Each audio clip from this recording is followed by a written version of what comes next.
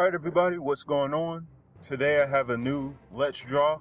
This is a picture of the Joker and Harley Quinn from Batman. It's actually a um, like a painting of a picture that I actually drew quite a few years ago.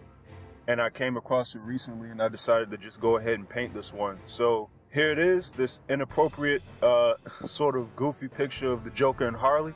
And I'm gonna go ahead and play the speed painting right now, so I hope you all enjoy it. I'm out.